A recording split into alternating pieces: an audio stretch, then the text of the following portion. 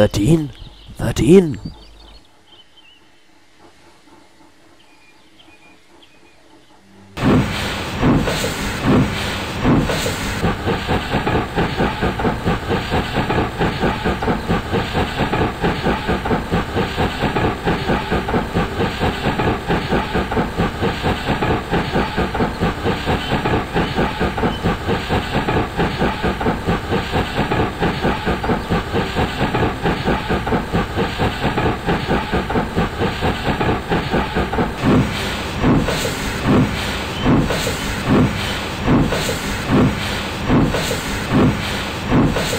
Thirteen.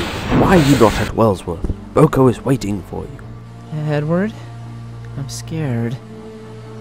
Of what? An engine. An engine who betrayed me years ago. Yes, but who was it, Thirteen? He was a little tram engine.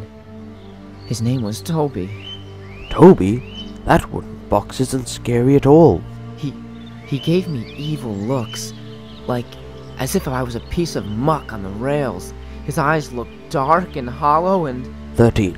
It was just a dream. Now come on, you shouldn't be scared. Come back with me, and I'll take you to Wellsworth. all right, Edward.